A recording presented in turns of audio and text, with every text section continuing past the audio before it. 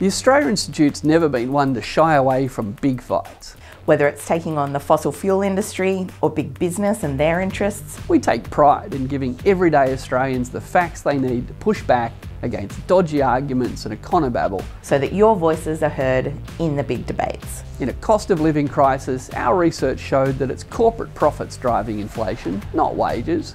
Without these excess business profits, the RBA wouldn't have slammed Australians with record interest rate rises. Our research exposed the $11.1 billion in fossil fuel subsidies and the gulf between how little the gas industry pays in tax and the enormous windfall profits they've made. We've called out businesses and governments who are greenwashing their way to net zero with dodgy carbon offsets. And for close to a decade, we have been advocating for a federal corruption watchdog, and at last, this year, we have a National Anti-Corruption Commission. We can only do this important work because we're independent. We're not funded by political parties, fossil fuel companies or the big banks. We are funded by members of the public like you. Who recognise the importance of evidence-based research in shaping the critical decisions facing Australia. Our community knows that it takes a team.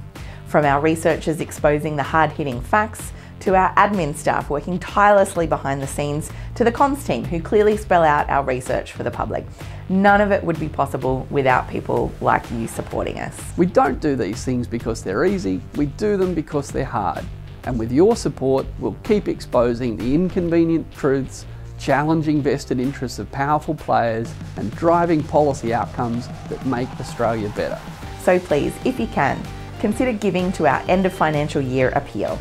Donations to our research fund are tax deductible, and until the 30th of June, every donation will be matched dollar for dollar so you can double your impact.